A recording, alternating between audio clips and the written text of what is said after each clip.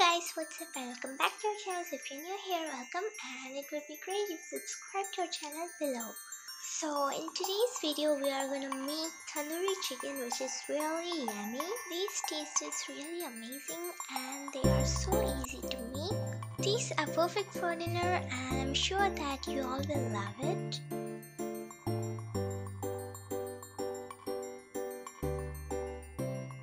So let's get right into it. So first what we have to do is marinate the chicken. So here I have taken some chicken so put some tiny cuts in it. Then I'm adding salt, garam masala and turmeric powder. To give it a nice color we are adding our Kashmir chili powder which is its trademark. Juice of lemon, ginger and garlic paste. Mix well, make sure every inch is well coated.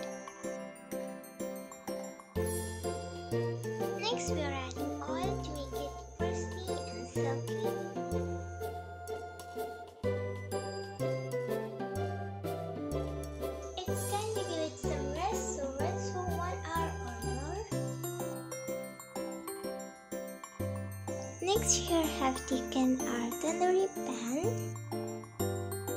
Next add enough water.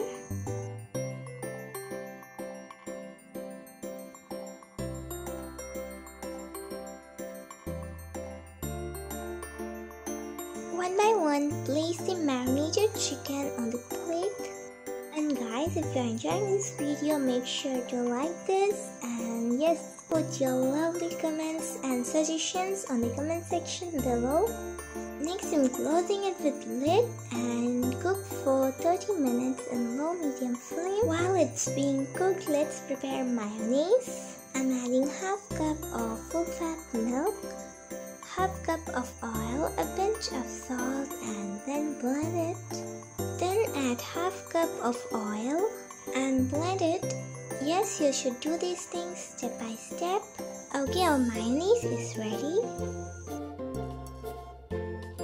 Later, brush your chicken with some oil. Close it and cook for another 10 minutes. Then switch off the flame.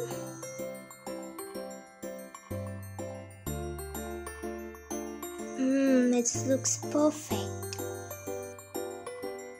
Top with some sliced lemon and onion rings. You can enjoy this tandoori chicken with any kind of dips. I'm using mayonnaise. Do watch our other videos. Take care guys. See ya.